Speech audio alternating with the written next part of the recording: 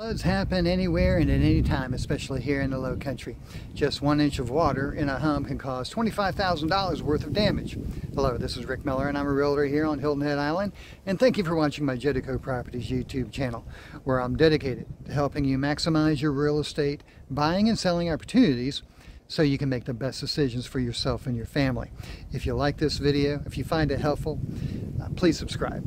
I've got new videos coming out each week Naturally occurring events including hurricanes, storm surges, high tides, and heavy rains may cause flooding in the town of Hilton Head Island. Being prepared is the best offense against damage from flooding and other disasters. Obtaining and maintaining flood insurance for your property is important because most homeowners insurance policies do not cover flood damage.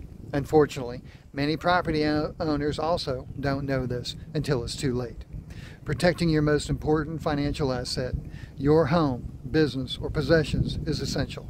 Flood insurance is a separate policy that can cover buildings and their contents. Whether you rent or own, ensure you have coverage covering your personal belongings such as clothing, furniture, and appliances. Where do you find flood insurance? The town of Hilton Head Island takes part in a national uh, flood insurance program which makes flood insurance available to you regardless of your flood zone. Flood insurance policies typically take 30 days to go into effect. It's best to learn about the extent of your coverage long before the disaster strikes. The National Flood Insurance Program, managed by FEMA, delivers to the public a network of more than 50 insurance companies to choose from.